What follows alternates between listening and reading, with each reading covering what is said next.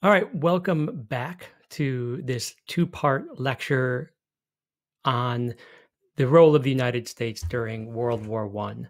In the first part of the talk, I walked you along America's road to war, a fraught road, but we all know how that story went.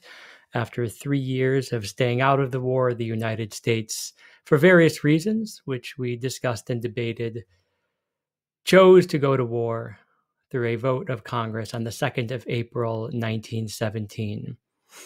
And my effort today is to try to walk you through uh, the American home front, the experience of the war in the United States during 1917 and 1918.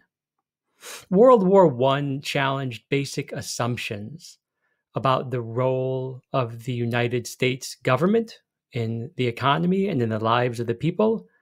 And it also challenged the role of the United States in the world. World War I, in many ways, was the turning point on which history failed to turn, uh, both in terms of political economy.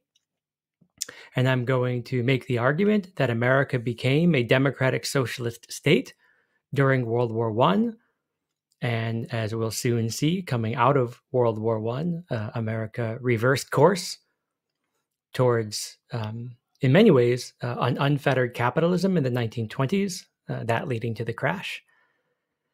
Um, and uh, America chose to become integrated in, you know, the the, the global st- struggle for dominance and become integrated in European affairs and uh, after World War One, America returned to what Warren G. Harding called normalcy and isolation, right? So those are kind of the arguments I'm going to be making throughout the talk, you know, both about political economy and about American isolationism. Um, we talked about peace and neutrality, and we talked about the road to war. So we have war as of the 2nd of April 1917. And if you're going to have a war, you have to have a military. So the Selective Service Act was passed on the 18th of May in 1917. And after some real serious debate for six weeks, Congress authorized the registration and classification for military service uh, for all men between the ages of 21 and 30. And then just a few weeks later, um, we had 99.5 million men registered for service. Um, in 1918, we should note that the Manpower Act was passed, which extended the registration of uh, males from ages 18 to 45, which added another 13 or so million to the registration rolls. Um, now, of course, in August of 1918, the war was uh, beginning to come to an end. So, to some degree, the Manpower Act was a diplomatic maneuver designed to encourage the Central Powers to sign an armistice. Right, the, the, the notion that there could be potentially 13 million more American boys coming to the Western Front um, was uh, a, a threat, a real threat. Yeah, to some degree, it was an empty threat. I mean, the notion of 45 year olds going out to fight um, as someone who's soon to turn 45, uh, let, let me tell you, um, I'm not ready for the battlefield, not even close. Um, as a man who could hardly get out of the bath, I don't, I don't know that I'm ready for the battlefield. Um, but anyway, um, you have uh, a massive mobilization, right? Um, and of the 24 million who were registered, 2.8 million men served in the United States Army. Um, not all of them went overseas, right? This was challenged. The Manpower Act was challenged. The Selective Service Act was challenged in the Supreme Court because the, the Constitution gives Congress the power to quote unquote raise and support armies. But the Constitution, per the 13th Amendment, also prohibits involuntary servitude. And the First Amendment protects people's freedom of conscience. So this is a really interesting um, legal case that manifested in Arver versus the United States, and the national government's prerogative, its legal right to conscript men against their will was upheld. Right? So the first troops arrived in Europe in 1917. The first draftees uh, completed training, and the 24th of uh, of, of, June they show up the, on the 4th of July. And yes, of course, that was very much architected as a matter of propaganda. American boys showing up on the 4th of July. Not that there's anything wrong with propaganda like that, but it's you know not not imprudent to call it what it is. And um, the American troops were under the command of General John J. Pershing. Pershing was, you know, a man among boys. He goes down in American history as one of the great generals. Um, and he was the commander of the American Expeditionary Force. And we should note that the American Expeditionary Force uh, was there to support British and French troops, but it did not integrate into the Allied forces. So American boys were not fighting alongside French and British forces. They were uh, f- fighting adjacent to them for the same cause. And the politics of that are interesting and problematic and sort of uh, beyond the purview of this lecture. Um, I should say, as a note, I'm not going to be talking about, you know, battles and, um, you know, American military strategy, not because it's not interesting, but because I'm limiting the scope of this particular lecture uh, to to other matters. Yeah. So on the 27th of October, 1917, the first U.S. soldiers fired shots, and the first casualties, first American casualties, were on November 3rd. Remember, the war is over in November of 1918. Um, so what we're talking about is one year and two weeks of Americans in battled firing shots. Okay. Um, and there was a lot of reporting uh, about the Western Front going back home to the American people. One of the most celebrated um, reports was about the so called Rainbow Coalition, uh, the Rainbow Division, which was uh, a military division composed of men from all of the 48 contiguous states um, and three US territories. So the notion is that American boys, North and South, East and West, poor and rich, German Americans, Irish Americans, French Americans, they're all fighting together. Asterisk. While African Americans were subject to the draft, they fought in segregated troops. And as um, we will see, Woodrow Wilson was very uh, retrogressive in his views on race. He wasn't just a racist for his time, he was a racist for all time. He, in fact, resegregated the uh, federal um, government uh, employees. So um, we'll we'll get to that later. But um, the point is about the Rainbow Division, which was, you know, a, a, sign of American solidarity and American unity, and we, the American people, are going to do this together. Um, and that is sort of a turning point. Yeah. And um, and it's worth considering what the American people were fighting for. Remember, a lot of soldiers, they were of German or Austrian ancestry, right? And so it was really important to establish the mission, to establish the purpose for the war. Yeah. Especially for disaffected or confused conscripts. You know, there are a lot of people who all of a sudden their numbers called and they they don't think about Europe at all. They hadn't been following the war. They wanted nothing to do with it. And next thing you know, there's a letter in the mail or a knock at the door and they got to put on a pair of boots, shave their heads and go to war. You know, the majority of Americans were not thinking about European conflicts. And though it would be impossible to be unaware of World War I, it was perfectly possible to go about your daily lives without obsessing about or really even thinking about that war. And so it was necessary to establish a, a mission for the soldiers. And through the lens of Wilson's moral diplomacy, in January of 1918, Wilson announced his 14 points.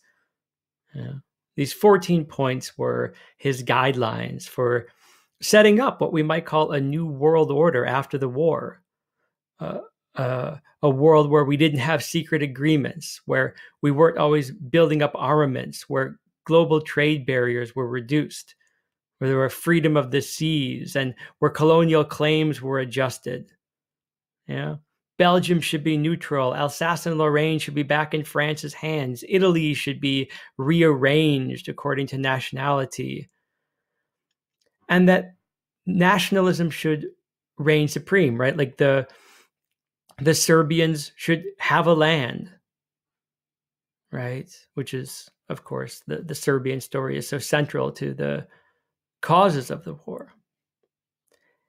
And Poland should be independent, and not just independent, but with access to the sea. These are among Wilson's 14 points. And the 14th point is the one that he's perhaps most uh, remembered for is the establishment of a League of Nations. And the League of Nations would be the space where leaders from different countries can come together to prevent tragedies like World War One from happening again. And though it is the case, as we will see in, in, in a forthcoming lecture, that the United States uh, tragically and sort of strangely did not join the very League of Nations it proposed, uh, the League of Nations did help to do uh, some things to keep peace, although, as we know, that peace was hard to keep. Yeah. So Wilson's moral diplomacy and the idea of, um, you know, crushing the savage Huns in this PowerPoint, you see this, um, you know, Prussian soldier with the pickle helmet, and he's, you know, um, got the club of Kultur in his hand while he's you know, going to do damage to this woman, this damsel in distress, right? This is why we're fighting. Yeah. Um, so I, I want to just say here that you know again the U.S. was in the war for only a year. Um, in March of 1918, Russia signed the Treaty of Brest-Litovsk, um, getting themselves out of the war, giving up some of their territory. Uh, Germany launched a spring counteroffensive in May of 1918, the beginning of the end of the war. And on October 9th, the German Kaiser abdicated uh, the throne uh, to a provisional government of Prince Max of Baden. Um, in early November, the German center crumbled, Austria surrendered. And on the 11th hour of the 11th day of the 11th month, November 11th, 1918, an armistice was signed.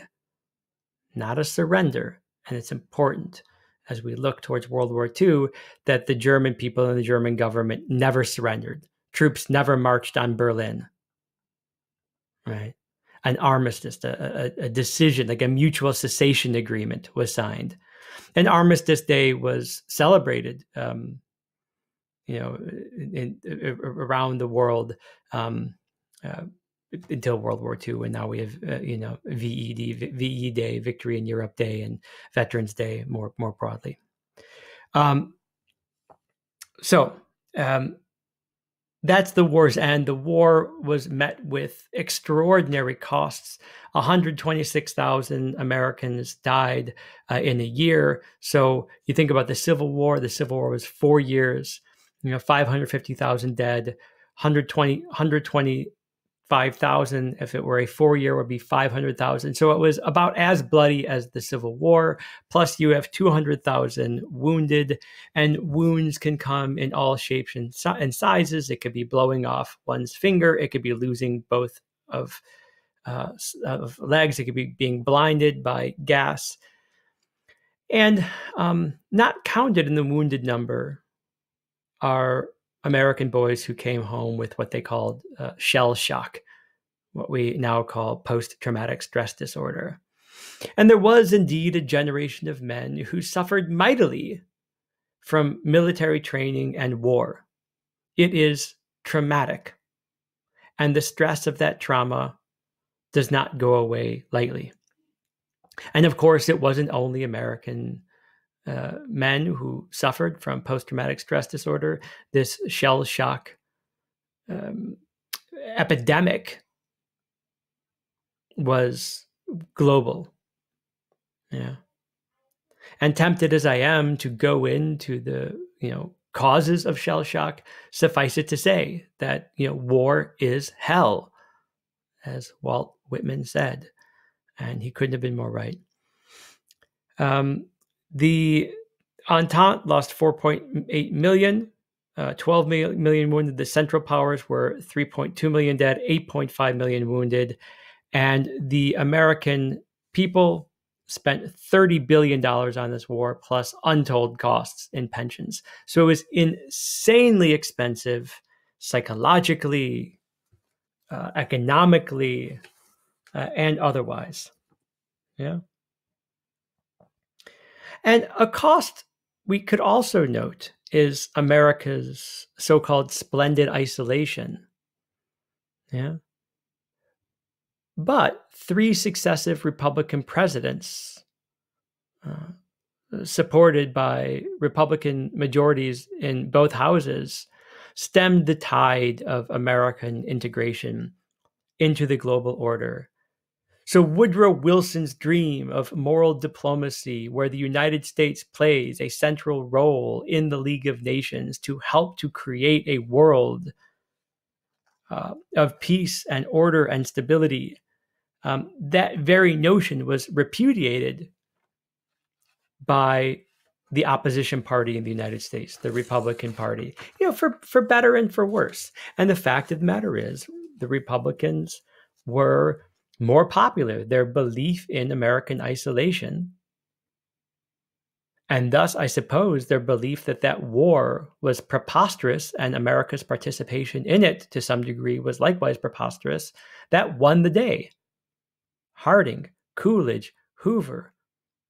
You know, isolation was their platform and they won. Right? So that's the the the the turning point that I mentioned on which American history failed to turn. Um, not only did it take the market crash and the rise of fascism and World War II, it took two years of World War II from 1939 until 1941 until America on December 7th of 1941, because of the Pearl Harbor attack, uh, became militarily involved in that war. And that was the turning point on which history turned when it came to American isolationism. And so, since the American people were focused more on their home front, let's pivot our focus to the home front as well. Again, we're talking about the one year and two weeks at which America is at war. And during this time, things changed in America magnificently. America became a democratic socialist state. The conversion of industry to war production set important precedents for expanding federal power in a time of crisis. And this later guided federal efforts in the Great Depression and in World War II. Yeah. You know, this raises interesting questions that we're going to dive into in a forthcoming discussion about democratic socialism in the United States when crises emerge, whether it's World War One, the Great Depression, World War II, some form of democratic socialism is the answer. But America continues to go back to some form of capitalism when the crisis subsides. Now, whether you think this is prudent or not uh, is, uh, you know, a, a matter of opinion. Hopefully, it's well researched opinion but but but so it goes, right? You know, but it's very much the case that war socialism emerged, and it emerged in part through private public partnerships. Right. One of these private public partnerships was the Council of National Defense. The Council of National Defense was six cabinet members, and the se- so like presidential cabinet members, and the sem- and a seven member advisory commission. Right, private sector actors that coordinated the manufacture of munitions and war materials. And this Council of National Defense, the CND, created the War Industries Board. Yeah. The War Industries Board uh, was directed by Bernard Baruch, who was, um, they called him the lone wolf of Wall Street. He was uh, a Jewish American, um, very successful, uh, became successful in St. Louis and became, uh, you know, uh, the, the bull of bulls in, in Wall Street um, in, in, in the, the aughts and the teens.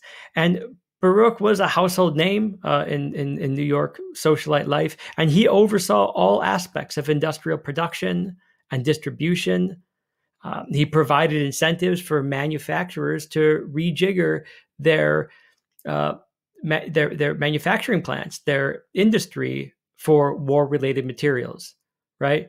So it's like you know you make you know women's hose. Well, now you're making. We are gonna we are gonna pay you this much to make men's pants for for war. You know, um, you make sports shoes. We're gonna pay you this much per pair of boots, and we'll buy all of those boots. And so, shoe factories became boot factories, and you know, car factories became tank factories. And the and the companies were proud to do it. They were proud to engage in the socialist experiment of, you know, government directed production and consumption. Partly because they could be guaranteed a particular profit, and the federal government was likely to make good on the contracts that they had signed. Partly because they believed in the cause. They believed that the war needed to be ended and that America had a special role in so doing. And so antitrust laws were suspended, industries cooperated, and the government oversaw that. That's socialism. The War Industries Board director, Bernard Baruch, had almost dictatorial powers to allocate materials, to fix prices. Price fixing is socialism. Coordinating purchasing is socialism. And a new cooperation between military and civilian agencies emerged in what later be called, became called the military and industrial complex the term, though it existed around this time, uh, was not in popular use until uh, after World War II, when the military industrial complex became um, criticized by um, the anti Cold Warriors. Right? So the War Industries Board is government directed, government coordinated industry. It's socialism.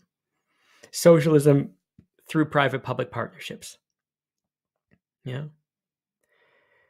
The um, Lever Food and Fuel Control Act of 1917, named after Asbury Lever, who was a, a, South Carolinian uh, Democrat, South Carolinian. Um, it was chaired by Herbert Hoover, who we'll soon learn about. Hoover was one of those, you know, real rags to riches story. He became a self-made millionaire, and um, he was a, a mining tycoon and he took the role like he he gave up you know m- making millions and millions i would say gave it up but he sort of put his directorship of his businesses on hold to work for the government because he wanted he believed in america. He wanted america to win. He was also aspirational politically um, and his aspirations worked out. But the lever food and fuel control act set the price of farm products. This was the populist dream. If you recall, in the 1860s, 70s, 80s, and 90s, the farmers wanted this type of socialist protection. This is what William Jennings Bryan was fighting for, what Mary Ellen Lease was fighting for raise less corn and more hell, she said, to have farm product prices set by the farmers themselves. Um, and now it's the government setting the price of farm products, right? because in order to feed the boys, be they American or French or British, you know, the uh, comparatively unpredictable competition that capitalism demands was not in order. Right? Like capitalism wasn't going to work. Competition between companies wasn't going to work. Competition between farmers wasn't going to work. Cooperation was necessary. Socialism was necessary to win the war. Now, unlike in World War II, in World War I, the US didn't go so far into socialism as to ration food. Instead, the United States government encouraged voluntary food conservation for the war. You know, you would have meatless Tuesdays or wheatless Wednesdays, you know, gasless Sundays, lightless nights. Turn off your lights at night. And the American people, fueled with propaganda to encourage them to go meatless on Tuesday and wheatless on Wednesday, they did it. They did it. And it's important for us to all realize that these people were Americans too. I know that in my audience of like, you know, sort of like progressive, you know, Berlin, liberal German American American kids, you're maybe less inclined to see Americans as sharing, caring people who are willing to self sacrifice. That's not the image the news gives you. But let me tell you, that story of cooperation and sacrifice is what made America the strongest power in the history of the world. And while that might be a bit of an oversimplification, surely there's truth to that. And it's important for me for you to see that the American people, when they're communicated with, you know, when there's a clear mission, when they can feel like they have trust in their leaders, they'll give up meat on Tuesday They'll give up meat in October if the right person is telling them to do it. Right? So it's worth kind of meditating on that historical reality. There's nothing there's nothing fundamental. There's nothing at the core of the American that makes them unwilling or unable to sacrifice. Indeed, it is self-sacrifice. Asking what you can do for your country that defines a lot of American successes going back to World War I. Because of these sacrifices, food exports rose from 12 to 18 million tons in a year. And guess what? Farmers made more money, 30% more from 1915 to 1918. Yeah. Now, that's not to say that agrarian socialism would have worked forever but it sure worked then. Remember, the farmers wanted the railroads to be administered by the federal government. One of the grievances that the farmers had was that the railroad oligopoly was suffocating them. Well, in December of 1917, the federal government, a day late and a dollar short for the populists, yeah, um, the federal government got involved in um, eff- effectively nationalizing the railroads during the war. The Secretary of the Treasury, William Gibbs McAdoo, McAdoo is always a fun name to say, he was the Director General of the railroads and he pooled all of the railroad equipment. He centralized purchasing, standardized accounting, and he raised wages and rates for railroad workers. The railroads became a socialist enterprise run by the U.S. Rail Administration and the Rail Control Act of 1918. Yeah the government basically subsidized the railroads. They said, this is how much you're going to charge per mile. Yeah. These are the hours you're going to run. And it helped to win the war. And last but surely not least, in fact, as I'm thinking about it, perhaps this should have been first. I only put it last because chronologically it's last. The War Labor Board was established in April of 19, 18, which was co chaired by William Howard Taft, the former president, and Frank Walsh. And Taft and Walsh oversaw 1,200 arbitration cases during six months of World War I. They stopped strikes and slowdowns and lockouts. They reduced the antagonism between labor and capital. We're talking about arbitrating three to four cases a day, a huge federal bureaucracy going out there and be like, these people at the, you know, the, the, the tire factory, they want to go on strike because they're being forced to, you know, they, they're supposed to work 10 hours a day, but their boss is keeping them there for 11 or 12. Let's send someone out there, you know, talk to the union reps, talk to the factory owners. Let's, we, we, we need tires. We can't go another day without tires. We can't go another way another day without canned beans. You know, the people at the Heinz plant, make canned beans. They're on strike. The workers are sick of. Uh, they, they say it's too hot in the factory. They can't breathe. There's too much smoke. Get someone out there. Arbitrate the case. Get it done. And the U.S. government respected labor, organized labor on equal footing. And that's socialist in its worldview. The notion that labor has dignity, the notion that the factory worker is as important as the CEO or the CFO or the owner. Yeah. And with these arbitrations in mind, the War Labor Policies Board was established in June of 1918, and this was headed by the uh, the Austrian, another Jewish guy, Felix Frankfurter, um, and this set wage and wage and hour standards for industry. This is the federal government saying, this is how many hours a factory worker can work. They, if they work more than this, it's dangerous. If they work less than this, they can't afford it. Here's what they're going to get paid. Yeah. And if they ask for more, there has to be a collective bargaining regime to create communication between the um, uh, the workers and the bosses. That's what the progressives were fighting for, right? That's what the populists were fighting for. It was progressivism plus populism plus some socialist impulses that defined economic life on the American home front. But it's important also to talk about the cultural facets of the home front. And to do that, we have to begin with the Committee on Public Information, uh, often called the Creel Committee, uh, named after the chairman of the Committee on Public Information, George Creel. Um, he was a uh, nationally recognized journalist, um, and he worked alongside the Secretary of State, the Secretary of War, the Secretary of the Navy, and they saturated the nation with propaganda. Propaganda portraying the American effort as a crusade for democracy against savage Huns, bloodthirsty, savage Germans and Austrians who were hell bent on global domination.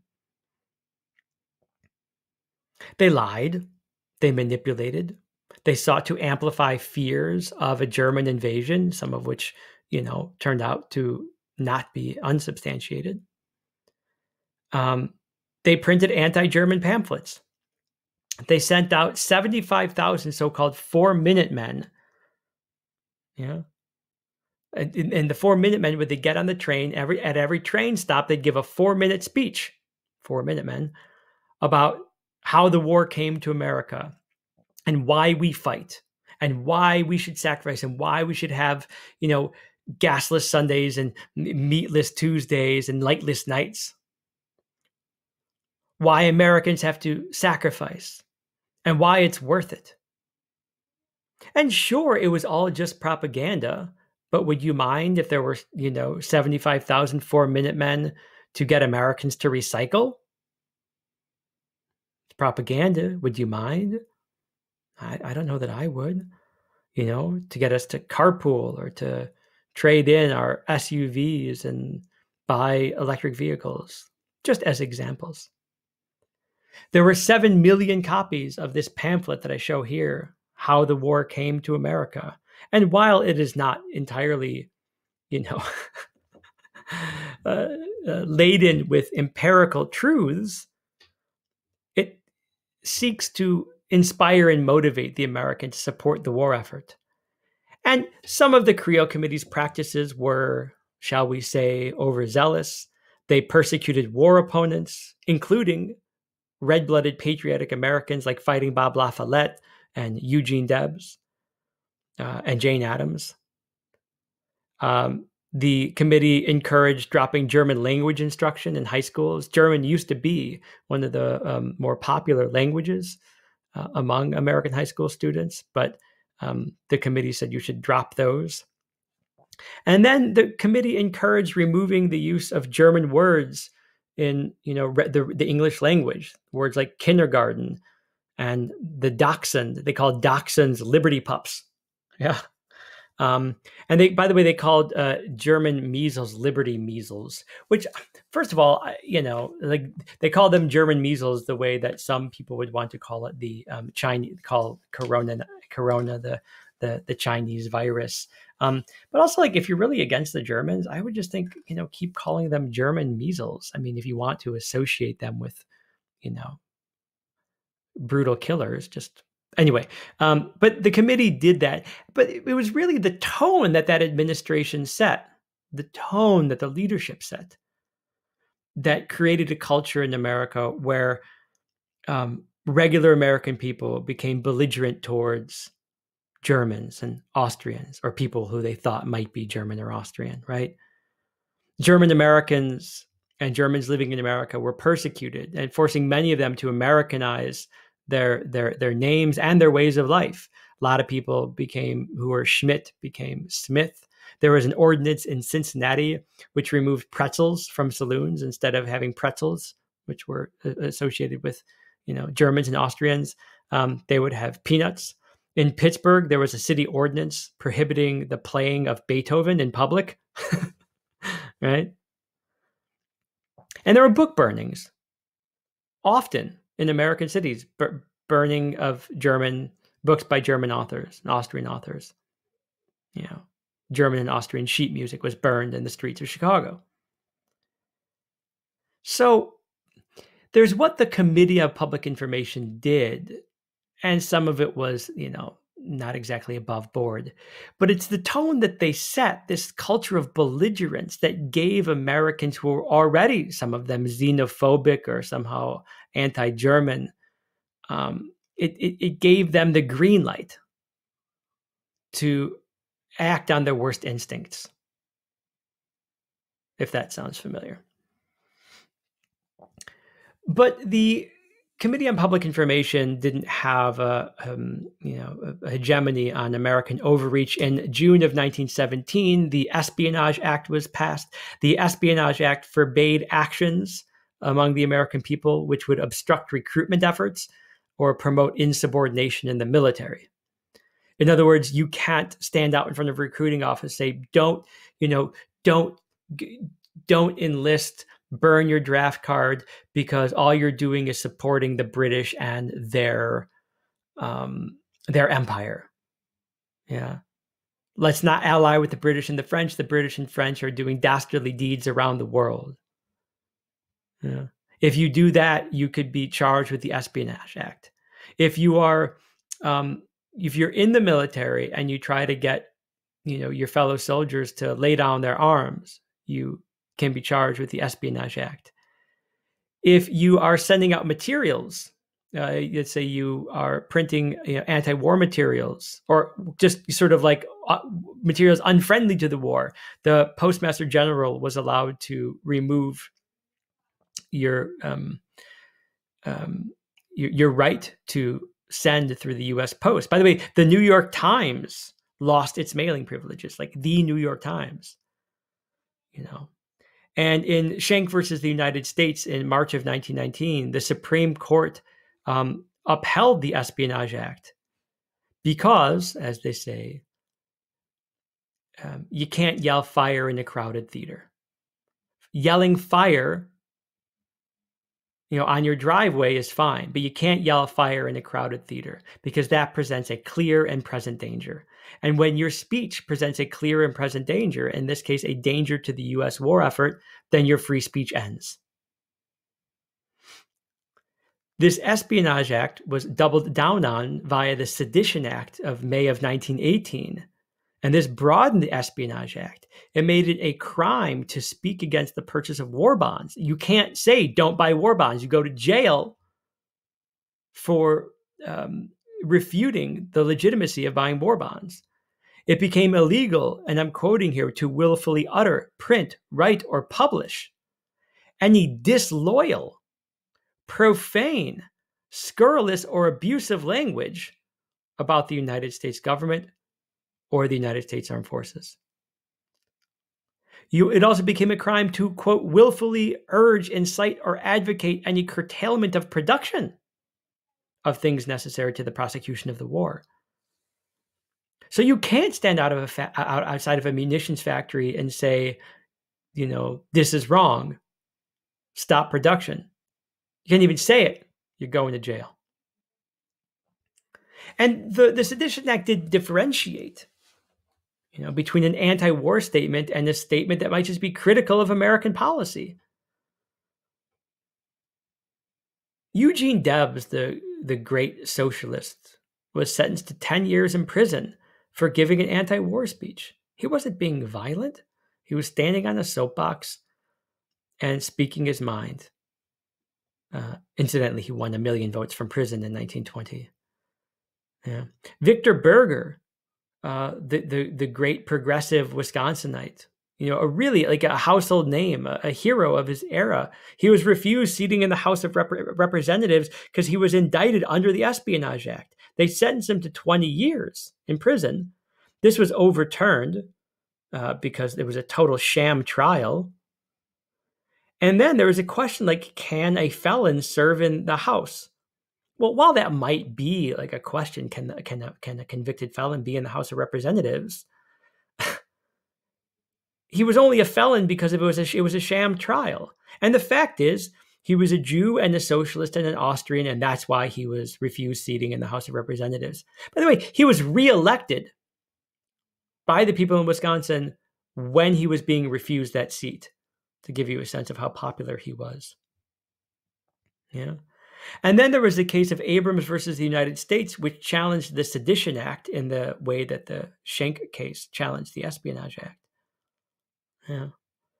And in this case, there was uh, a Russian born Jewish anarchist who was dropping leaflets out of a, a hat factory, you know, third floor of a hat factory.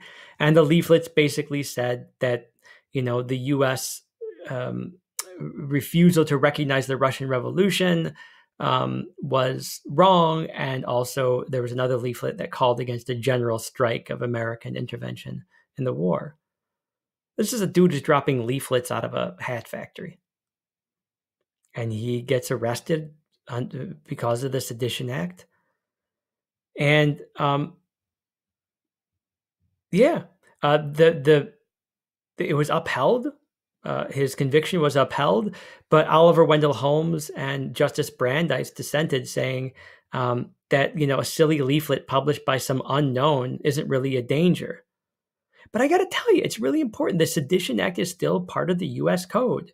Julius and Ethel Rosenberg, you know, during the early years of the Cold War, were persecuted under the Sedition Act.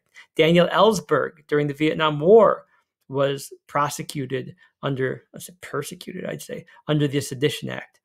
Chelsea Manning, Edward Snowden, all face Sedition Act charges. Yeah. Yeah. And part of the reason that the Espionage and Sedition Acts were deemed to be necessary by the Wilson administration was because um, people were standing up against financing the war. They were trying to get people to not buy Liberty bonds. And um, you have the Liberty Loan Act uh, and the War Revenue Act, which raised a ton of money yeah, to fund the war.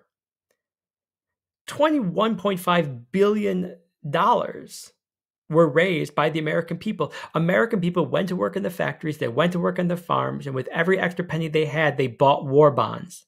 They bought war bonds because they uh, supported the war effort. Yeah. In 1913, the total federal expenditures were only 970 million, right? So the the government in 1913 spent a billion dollars. That was it. That was the whole budget. In 1918, the government raised 21.5 billion dollars in bonds alone. Now the war cost was about 30 billion, and the war bonds paid for about two thirds of the war. Yeah. And the other 10 billion was paid for by taxes, socialist taxation. Taxes were raised through the war, and in all of my reading, I have never found an example of people who protested taxes. Yeah. Now, taxes were low, as low as 4% for the, the lowest bracket, but the highest um, earners paid 77% of their income in taxes. If you made, say, $100,000 in 1918, you, you gave 77% of that up. You were left with 23,000 if you made 100,000. That's a lot of money still in those days. But like Americans were proud to pay those taxes. There's nothing about Americans that makes them allergic to taxes per se. They just have to be led to believe that their money is going to a good place. Yeah. And Americans today don't they don't believe that. Yeah. Um I just want to give a, a, note as we wrap up here, because uh, I would be remiss in not doing so, uh, especially because I brought it up earlier about the impact of World War II on African Americans and women. Uh, there was a real debate in the Black communities about whether they should be fighting in this war. Um, the draft law was applied equally to both races, but not to um, men and women. As I said, troops were segregated there were women, black women in the Red Cross, um, but there was a debate in particular between W.E.B. Du Bois on the left, and it is indeed Du Bois, it's not a French pronunciation, and William Monroe Trotter, but also Marcus Garvey. Um, Trotter was the founder of the Niagara movement. He studied at Harvard. Uh, he actually got kicked out of the Oval Office by Woodrow Wilson uh, when he demanded integrated troops. Um, uh, du Bois was for black participation in the war. He wrote an editorial in the Crisis magazine, a Chicago African American magazine, an essay called "Close Closing Ranks," I think it was called, or "Close the Ranks," something like that. And he um, he argued that for African Americans to um, enjoy the fruits of America, they have to make the sacrifices that white Americans have to make in times of war. Um, and uh, not all black people agreed with that. You know, why should Americans why should African Americans go fight for you know truth, justice, in the American way to support British and French, you know, governments who are repressing black people around the world? It's a real question. Yeah. Um, and as far as women are concerned, you know, you have women who found unprecedented industrial job opportunities, um, but it only lasted for a year. And, you know, the men came home and the men got their jobs back. It wasn't really like World War II, where women went to the factories en masse. Um, the World War II story was very different for the role of women. But because of the sacrifices that women made during World War One, um, because of movements that they engaged in to, for example, uh, halt the spread of prostitution and um, and to stop venereal disease, uh, you know, uh, and the things that men were doing overseas, yada yada. Um, um, and because they stayed active and they helped to promote the propaganda, um, women got the right to vote in 1920, um, and in 1919, women got what they had wanted, what a lot of women had wanted for a long time, which was prohibition of alcohol. Yeah. Um, we will talk in another lecture about domestic issues after the war, but it's worth pointing out here, um, sort of as um, as a transition, a cliffhanger of sorts, that you know getting into war requires this you know robust nationwide effort. It fundamentally changes the content and tone of politics, and it's worth thinking about how getting out of war poses equally vexing challenges to governments.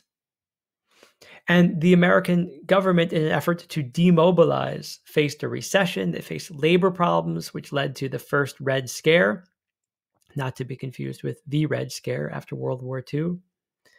Um,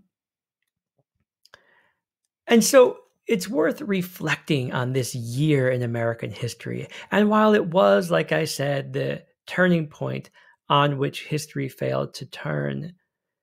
1917 1918 is a fascinating case study in the politics of possibility in American political economy. The politics of possibility. And with that as something to think about, I wish you health and wellness, and I hope to see you soon.